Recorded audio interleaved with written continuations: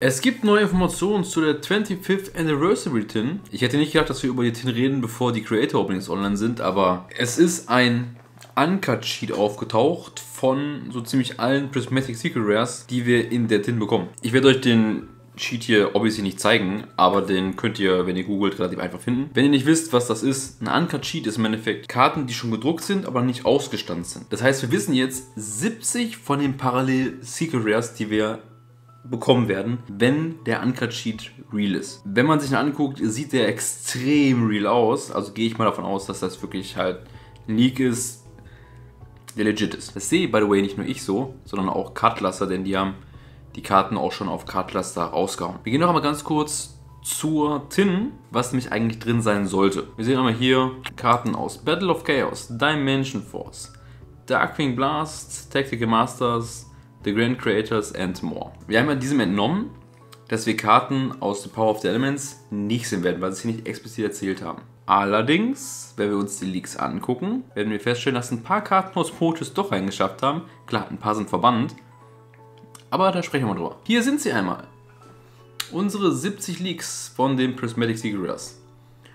Und ich muss sagen, ja, die Tin wird besser, als ich erwartet habe. Denn ein paar der Protekarten sind natürlich richtig gut. Und dann würde ich sagen, wir gehen mal so ein bisschen auf die Karten ein, die so drin sind. Von denen, mit denen wir gerechnet haben, logischerweise. Denn Darkwing Blast und die ganzen anderen Sachen, über die wir alle gerechnet haben, das war jetzt nichts Neues. Und klar, dass sie alle hier drin sind. Und so wie wir es erwartet haben, kriegen viele von den Karten auch einfach ein Upgrade. Also wir sprechen mal ganz kurz über Karten, die hier drin sind. Ne? Kommen obviously Ariana und Ariane. Die waren ja beide im Set drin. Logischerweise kommen die da auch dann, dann raus. Ist ja auch ein genanntes Set. Dann haben wir Karten wie das Blue Eyes Ding hier.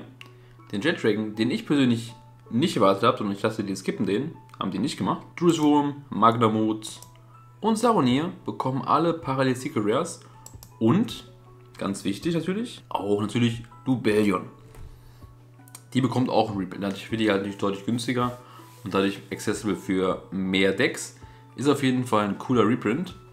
Die war ja in Dark Blast drin. Wenn wir weiter gucken, kriegen wir Makinex logischerweise auch, der Romakane kennen auch eine ganz coole Karte. Rexterm als Paralystic Rare. Theresia, das komische Neos-Ding. Dann Exorcist Aelis und Irene und Martha. Sowie die Spell und eigentlich so ziemlich alle Exorcister-Karten. Und was mich überrascht hat, ist, dass wir hier Fateful Adventure auch kriegen. Denn die Karte hat ja keinen Reprint gehabt in dem Set, wo die ganzen Adventure-Karten reprintet wurden. Aber hier ist die mit drin, das heißt, die wird auf jeden Fall auch vom Preis her fallen. Was cool ist, weil dann wird die auch nicht mehr so teuer sein, weil die gehen jetzt 10, 15 Euro, glaube ich, für eine Karte, die eigentlich nicht so unbedingt super relevant ist. Aber es gibt nicht nur den Reprint, da sprechen wir gleich drüber. Dann bekommen wir einmal den Print von der Fluanaries Karte. Das ist auch gut, dass ihr den bekommt. Das heißt, Flu wird dadurch halt ein Ultra-Budget-Deck. Und hier kommen wir zu einem der ersten Prote-Reprints. Wir kriegen Garura, Wings of Resonant Life. Garura, coole Karte, war ja eine TC Exclusive in Pote. Ist eine gute Karte, die aktuell so um die 25 Euro geht. Nach dem Reprint wird die wahrscheinlich ein Fünfer gehen. Wenn nicht sogar ein bisschen weniger. Aber coole Karte, cooler Reprint. Ich finde schön, dass wir auf jeden Fall ein paar Prote-Karten bekommen. Dann bekommen wir logischerweise, wie ihr seht, auch Runic-Karten. Das war uns ja klar, dass die Runic-Karten hier reprintet werden, aber Hagin als Parallel Rare finde ich spannend. Dann bekommen wir auch Draco Slayer und natürlich Illusion of Chaos. Und wir kriegen, und wir kriegen so ziemlich alle Kashira-Karten in High Rare. Sogar den Ogre, Fenrir, Unicorn, Shangri-Ira, Birth kriegen wir alle als Parallel Rares, was halt crazy ist. Dann die Lauren Field Spell, die beiden Ladies. Der Kurium ist irrelevant. Dann das komische Dark Magician Fusion Ding. Markracker. Die Field Spell. End Punisher. Das komische Ding hier.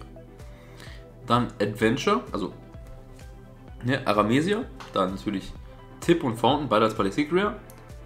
Dann das Scarecrow Link. Dann, ähm, das ist Reichard. Dann kriegen wir Tryhard. Dann bekommen wir den Zombie Vampire. Dann Regulus, Liliboria.